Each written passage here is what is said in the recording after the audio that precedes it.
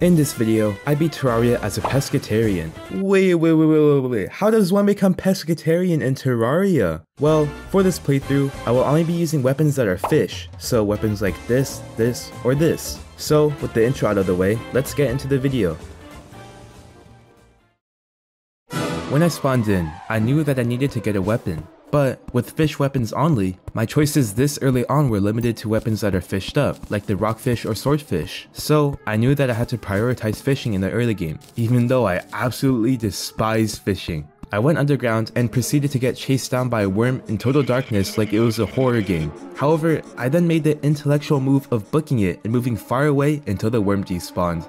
I found a shark pet that seemed very fitting for this playthrough, and then I mined a few ores here and there.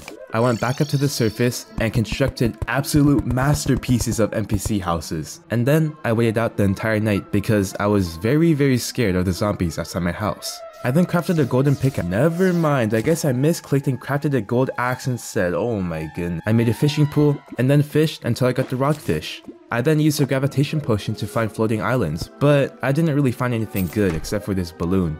When I eventually ended up in the ocean, I decided that I might as well fish. And this was a great decision because I fished up the swordfish, adding another weapon to my arsenal. I drank another gravitation potion to explore the other side of the sky, and I found a star fury and horseshoe. I went back in the mines and was able to mine enough gold for a full set of gold armor, and I also got enough life crystals to become juiced up to the maximum with 400 HP. I decided that now was finally the time to fight the of Cthulhu, I had to stay close to damage it, but I was able to tank the hits just fine, and eventually I took it down. Since I still had 5 minutes of potions left, I didn't want to waste them, because I'm just that good at the game. So, I broke Shadow Orbs and spawned the Eater of Worlds as well. And just like the Eye, I was able to easily tank the boss and I quickly defeated the Eater of Worlds. I bought a mini shark from the arms dealer for a very very cheap price. I mined some hellstone and then crafted some new gear out of it. And then I went to bed for some nice, well-deserved sleep and rest. Never mind.